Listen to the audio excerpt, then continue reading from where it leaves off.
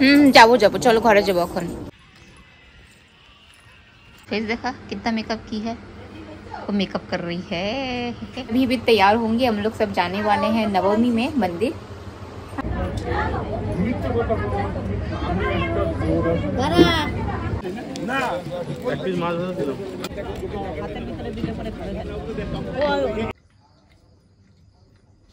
धीरे धीरे जल्दी जल्दी ना।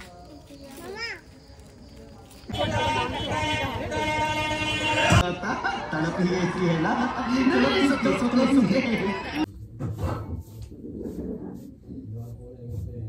हेलो एवरीवन कैसे हो आप सभी? आई होप आप सभी अच्छे और स्वस्थ होंगे। के अच्छे अच्छे आशो आशो के अच्छे अच्छे हम लोग निकल रहे मेरे फ्रेंड के घर। उसके यहाँ पे दुर्गा पूजा होता है। मैं रिशु और मेरी सिस्टर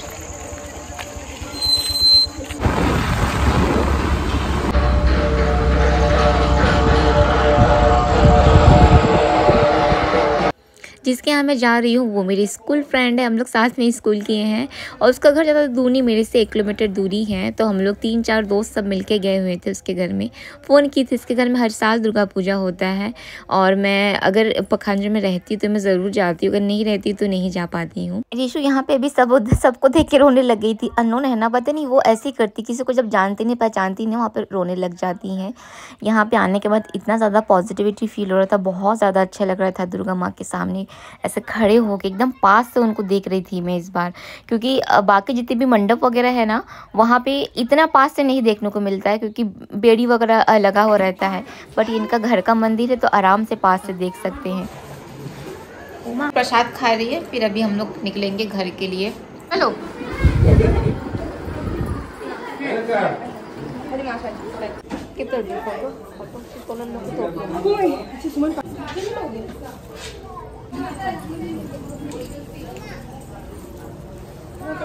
হুম যাবো যাবো চলো ঘরে যাবো এখন मॉर्निंग गुड मॉर्निंग ऋषि भी सुबह सुबह नड्डा खा रही है नड्डा खा रहे हो कौन दिया तुमको नड्डा बना के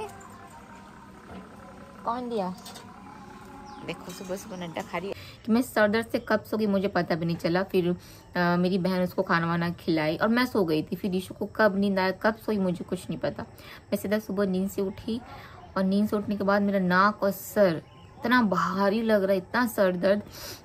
पता नहीं मैं मेरा सर दर्द का क्या करूँ समझ में नहीं आ रहा है। पापा से बात की हूँ सुबह तो पापा बोले हैं कि आयुर्वेदिक या फिर एलो मतलब होम्यो होम्योपैथिक दोनों में से कोई एक दवा मतलब मुझे देंगे।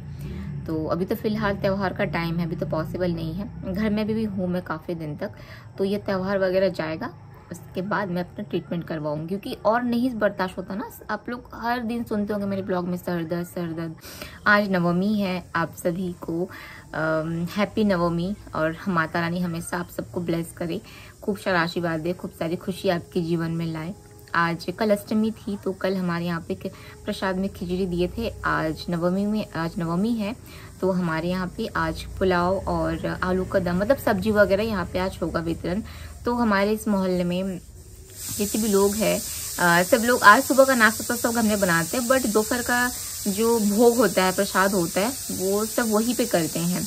मतलब जब से हमारे मोहल्ले में हमारे पारे में दुर्गा पूजा स्टार्ट हुआ है तब से ऐसे ही होता है। और दशमी के दिन होगा गरबा। पापा नहावा के तैयार हो गए हैं अभी और रिशु को भी मैं तैयार कर दी हूँ। तो पापा अभी रिशु के लेके जा रहे हैं मंडप पे। फेस देखा कितना मेकअप की है। वो मेकअप कर रही है। अभी भी तैयार होंगे हम लोग सब जाने वाले हैं नवमी में मंदिर। हाँ? ठीक है सना? सोचिए मैं तैयार हो गई लेकिन इसका अभी तक भी इसका तैयार और मेकअप इसका कंप्लीट नहीं हुआ है क्योंकि बारीकी से मेकअप कर रही थी। हमारा क्या जितना ज़रूरत है उतना ही कर लेते हैं। बस दोनों मिलके अभी गेट में ताला लगा रहे मैं करे करे वीडियो बना रही हूँ। तो अभी हम लोग जा रहे हैं। रीशु को उसके नानू लेके चले गए हैं। तो पापा भी फ़ोन किए थे, जल्दी आओ, बैठने नहीं दे रही मैं जानती थी खुशी खुशी में चली तो गई नानू के साथ बट वह रुक नहीं पाएँगे, जल्दी। पापा को आना पड़ेगा या हमें दौड़ के जाना पड़ेगा? तो मेरे को भी जा रहे हैं। जाके देखती वहाँ पे ऑलरेडी बहुत भीड़ थी और एक बैठक बैठ चुका था तो वहाँ से फिर खड़े रहना अच्छा नहीं लग रहा था तो हम सब आके फिर बैठ गए पंडाल के नीचे। तो पंडाल के नीचे बैठ के मैं अपनी फ्रेंड से बात ही कर रही थी, देखी यहाँ से कितना ज़्यादा भीड़ है वहाँ पर फिर नीचे ना पंडित जी ना सबको मौली धागा बाँध रहे थे। फिर मैं गई तो पंडित जी बोले, प्यास लगी है। तो उनको एक गिलास पानी दी। उसके बाद भगवान के सामने थोड़ा सा प्रणाम करके सर झुका के फिर मैं भी वहाँ पे मौली धागा बांधने बैठ गई। रीशु मेरे पास थी नहीं नहीं तो रीशु के हाथ में भी पंडित जी से बंधवा देती। मुझे मेरी फ्रेंड दिख गई, मैं उससे बात करने लग गई थी और मम्मी आ गई थी, मम्मी ऋषु को लेके कहीं चली गई थी और मेरी सिस्टर को जगह मिल गया, वो खाने के लिए बैठ गई। मतलब हम लोग सब यहाँ हुआ, बिछड़ गए थे। तो इसलिए मुझे मौका मिला, मैं यहाँ पे मौली धागा बाँध ली। बस भगवान से प्रे करी थी कि जीवन में जितनी भी अड़चने आती है, वो बस मत आए, सब चीज़ें अच्छी हो जाए लाइफ में। बहुत कुछ झेल चुकी हूँ जीवन में, बस और और हिम्मत नहीं है कोई भी चीज़ झेलने की। फिर यहाँ से मोड़ धागा बांधने के बाद हम लोग गए मतलब जगह खाली हो गई थी। तो देखिए हमारे यहाँ पे इस तरीके से दिया जाता है प्रसाद। तो बिठा के आज पुलाव बना है। पुलाव के साथ यहाँ पे भी आलू का दम भी देंगे और साथ में हम लोग इसको बेगुनी बोलते हैं मतलब बैगन को ना बेसन के साथ लपेट के तल के बनाते हैं। तो हमारे बंगाली लैंग्वेज में बेगुनी बोलते हैं अदर लैंग्वेज का तो मुझे आइडिया नहीं है। शायद बैगन का भजिया या बैगन का पकोड़ा, ऐसे कुछ बोलते हैं। आप लोग आप लोग को दिखाती हूँ, अभी देंगे थाली में तो आप लोग को देख के समझ में आ जाएगा। ये देखिए, इस तरीके से है। बहन का पहले खाना हो गया था तो बहन घर चली गई थी तो मम्मी अभी खा रही थी तो मैं पापा और रीशु हम तीनों अभी घर जा रहे हैं। गिर जाओगे गिर जाओगे। दुनिया गाना कौन? ऋषु का अपना पंजाबी गाना शुरू हो गया। Punjabi, Chinese, Korea. हाँ?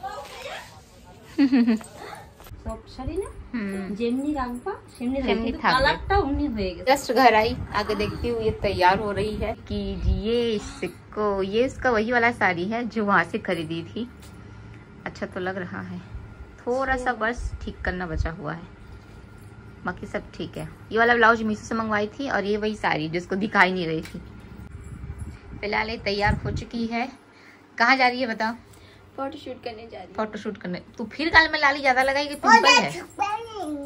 पिंपल। यस तो पिंपल हो गया है। जा रही है फ़ोटो शूट करने। और अभी मैं ऋषु को सुलाऊँगी। और आज शाम को हमारे मोहल्ले में होने वाला है आ, बहुत सारे क्या प्रोग्राम वगैरह। तो अभी तो मैं ऋषि को लेके सोने वाली हूँ। सीधा आप लोग से शाम को मिलती हूँ। दुर्गा पूजा का माहौल है तो बाहर का खाओ खाने का तो माहौल बनता ही घर में भी। तो मेरी सिस्टर गई थी घर के ज़्यादा दूर नहीं पास में आधा किलोमीटर दूर में बहुत सारे शॉप्स लगे हुए हैं। खाना है? कौन लाया अंशे हेलो मासी के अंशे ये देखिए कितना कुछ लाइए ज़्यादा नहीं कम कम लाइए क्योंकि उतना मतलब हम लोग खाते नहीं हैं तो चाउमीन लेके आई है और वेज मंचूरियन लेके आई है और मोमोज़ लेके आई है तो मैं अपने हिस्से का थोड़ा सा लेके यहाँ पे बैठ गई हूँ मंचूरियन चाउमीन और वेज मंचूरियन पकौड़ा और साथ में मोमोज़। मम्मी शाम को नाश्ता बनाती है करने के लिए, लेकिन आज मन किया कि चलो ठीक है, बाहर से खाते हैं। अभी तो पूजा का माहौल है, फिर ख़त्म हो जाएगा तो फिर क्या और और तो मम्मी बोले, ठीक है, लेके आओ। तो पापा तो खाते नहीं बाहर का खाना, पापा को पूरा मना ही, डॉक्टर ने मना किया है। तो मैं, मेरी सिस्टर और मेरी मम्मी, हम तीनों खाए हैं। और ऋषु को थोड़ा सा बस मोमोज़ दी थी मैं, और कुछ भी नहीं दी उसको। चाउमीन में बहुत सारा सोया सॉस था तो मैं तो पूरा अवॉइड ही कर दी, नहीं देना है। अभी हम सबका क्या बोलते हैं? शाम का नाश्ता करना हो गया, अभी हम सब तैयार हो रहे हैं। आज नवमी है, आज हमारे यहाँ पर प्रोग्राम होने वाला है। धुनोची डांस शायद हो सकता है, और कुछ कुछ बच्चों का डांस है। तो उसी के लिए हम सब अभी तैयार हो रहे हैं। जो तैयार हो चुकी है, मेरी सिस्टर वहाँ तैयार हो रही है, मैं यहाँ। आज मैं, ये चिकनकारी ड्रेस है मिरर लगा हुआ, इसको पहनने वाली हूँ। इसको भी मुझे पहनने का मौका नहीं मिला, आज मिला तो इसको पहनूँगी आज। चलिए फिर मैं आप लोग से तैयार होके मिलती हूँ। क्या ये बताओ, मैं आप लोग को, ये चिकन करी ड्रेस जो है ना, मेरे पास आसमानी कलर का, मैं इसको कभी पहन ही नहीं पाती। तीन बार ऐसा हुआ है कि पहनने गई, पहन ही नहीं पाती। हर बार ढीला लगता है मुझे, इस बार पहनी तो इतना ढीला कि मेरे तरह और दो इंसान घुस जाएगा। मज़ाक कर रही हूँ मतलब काफ़ी ज़्यादा ढीला है। तो मैं, मेरी बहन को ये बोली थी, ये ड्रेस क्या घर में बैठे बैठे का फैल जाता है क्या बिना पहने? जबकि उसका जो कपड़ा है, ऐसा फैलने वाला है ही नहीं। तो बहन बोलती, मत पहन सबको लगेगा तेरे को हॉस्पिटल से घर लेके आए हैं। तो मैं बोली, मेरे पास तो और सूट ही नहीं है। आप लोग को दिखाई थी जब मैं बैग पैक की थी, मेरे पास चार ही सूट है। मेरे पास और सूट नहीं है। तो चार सूट है, उसमें से मैं तीन सूट लेके आई हूँ, एक सूट रख के आई हूँ, क्योंकि जो सफ़ेद कलर का सूट है, उसको मैं बहुत पहनी हूँ, बहुत। उसको मैं दो साल से पहन ही रही हूँ, इसलिए उसको नहीं लाई। तो ये चार सूटें लेके आई हूँ। उसमें भी बताइए, एक सूट मेरा ख़राब है। मतलब ढीला है। अब उसको मैं बहुत ज़्यादा करके फिटिंग कराऊँगी ताकि जब वो बैग के अंदर पड़े पड़े फैले मत। इसलिए जो आज दिन में पहनी थी, वही आज मैं रात को पहन के जा रही हूँ। वैसे बस प्रोग्राम में तो देखने जाना है, और क्या। अब मैं सोची हूँ कि अब मैं, सच में अभी तो इस महीने तो नहीं, अगले महीने मैं अपने लिए दो सूट ज़रूर ऑर्डर करूँगी। मैं बहन को यही बोल रही थी, मुझे लगता है मेरे पास बहुत कपड़े अभी जब त्यौहार का टाइम आया, फेस्टिवल का टाइम आया, अब मुझे लगा मेरे पास सूट नहीं है, बस तीन चार सूट है मेरे पास। तो चार सूट तो चार त्यौहार में चले जाता है। बट मैं हर बार ये सोचती हूँ कि अगर सूट ना खरीद के पैसे बचाऊ तो मेरे को आगे ही काम में तो आएगा। तो हम तैयार भी निकल रहे हैं।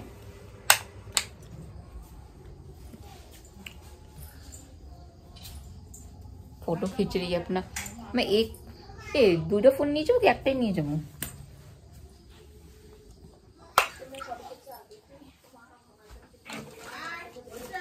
हाँ तुम रेडी रेडी दिशु चलो मम्मा चल बाय हाँ मासी धीरे धीरे धीरे धीरे जल्दी जल्दी ना चलिए हमारे साथ हमारे मोहल्ले के प्रोग्राम में सबर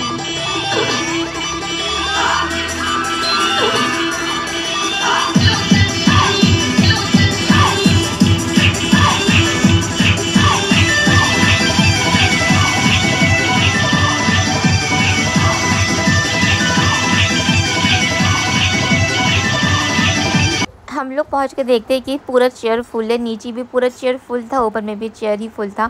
तो बैठने का जगह हमारे पास था नहीं तो हम लोग खड़े खड़े ही देख रहे थे। फिर पंद्रह बीस मिनट बाद बैठने के लिए सीट मिला, फिर मैं सामने बैठ के फिर वीडियो वगैरह ले रही थी।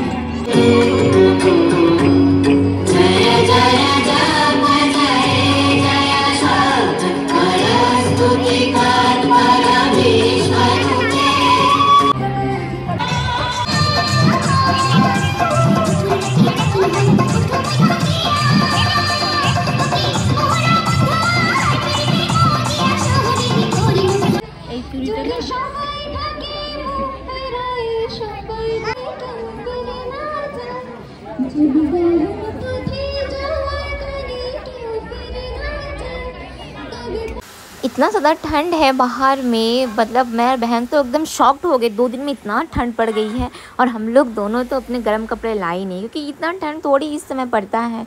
तो इतफाक से रिशु का लेके आए थे, लेकिन हमारा तो छुट गया। हम लोग खाने वाले खा रहा आज रात के डिनर के लिए बना हुआ है परवल भाजा, कुशी भाजा और दाल। तो मैं और हम मैं बहन ऐसे हैं ना, हम लोग को बहुत पसंद है भाजा भूजा। अगर भाजा भूजा बनता है ना, हम लोग दाल वाल सब्ज़ी वगैरह ज़्यादा नहीं खाते। मतलब इसी से ना पूरा खाना हम लोग खा लेते हैं। मतलब सूखा सूखा खाना हमें ज़्यादा पसंद है। गीला गीला रस्ता वाला सब्ज़ी मुझे मेरी सिस्टर को नहीं पसंद है। आज मैं आप लोग से एक बहुत अच्छी चीज़ें शेयर करने वाली हूँ। मैं अभी दो दिन से रिसेंटली ऐसे खाते वक्त वीडियो डालती हूँ ना तो मुझे मेरी एक सब्सक्राइबर ने मुझे बोला है कि दी आप जब खाना खाते हो तो आपकी एक उंगली छूट जाती है।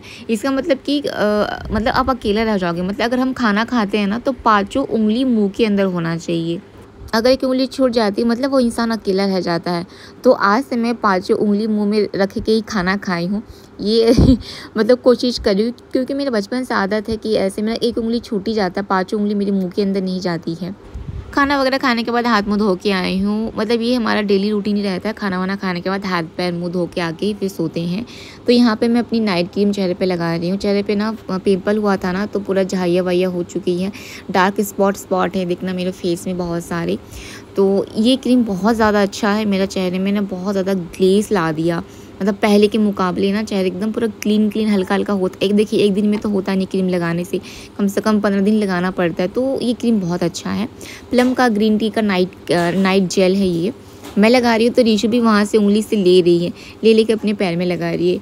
रीशु अभी दुर्गा पूजा का टाइम था, बहुत दौड़ा दौरी की, बहुत भागा दौरी की। मतलब कंटिन्यू अगर हम मंडप पे गए हैं तो एक घंटा, दो घंटा थे तो तब तक वो दौड़ ही रही है दौड़ ही रही है। तभी मैं उसका पैर दबा दे रही हूँ। चुपचाप सोई है और कैमरे को अपने आप को देख रही है और देख देख के अपने आप से बात कर रही थी। इसलिए मुझे बहुत ज़्यादा हँसी आ रही थी कि बेचारे को मैं दिखा भी नहीं सकती वीडियो में। इतना सारा बात कर रही है पोएम सुना रही है, वन, टू, थ्री बोल रही है। बट क्या करे बताओ कुछ कुछ पापी लोग हैं इस दुनिया में जो नन्ही सी बच्ची को या फिर भगवान का रूप ही तो है, उसको कैमरे में आने नहीं देना चाहते। कोई बात नहीं, सब अपना अपना कर्म भोगेंगे। मुझे ये काम करने में, मैं बहुत मज़ा आता मतलब ऋषु का पैर लेके दबाती हूँ ना, मुझे इतना अच्छा लगता है। मैं ऐसे आधा घंटा, एक घंटा धीरे धीरे धीरे धीरे दबाती ही रहती हूँ। उसको भी बहुत अच्छा लगता है कि मम्मी पैर दबा के धीरे, चुपचाप आराम से लेटी रहती है। ठंडी ज़्यादा पड़ेगी ना फिर उसको रोज़ रात को सोने के पहले अच्छे से मालिश करके फिर उसे सुलाऊँगी। और अभी यहाँ पे मेरी सिस्टर भी अपना गुड नाइट बोल के ब्लॉग शूट कर रही है और मेरा भी भी यहाँ पे गुड नाइट होने वाला है। मच्छर मैं सोती हूँ मच्छरदानी में बट मेरी सिस्टर नहीं सोती मच्छरदानी में वो बिना मच्छरदानी के सोती विदा। फिर मिलती हूँ नेक्स्ट ब्लॉग में। आप सब लोग अच्छे से रहे स्वस्थ रहे खुश रहे। Tata bye bye bye good night जो आप लोग को फ्रैंक किस की ऐसा करो बाय बाय